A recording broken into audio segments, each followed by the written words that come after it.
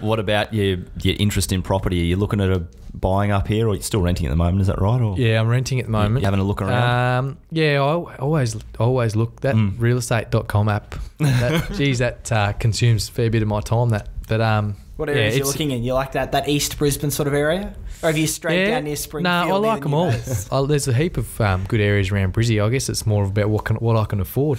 um, it's pretty expensive, but yeah. Now I don't know to be honest. There's heaps of different areas that people tell you you should buy, and got to work it out for myself a little bit and see how we go. Do you think there will be a bit of a shift of the players when you guys move down to Springfield? I guess closer to that facility.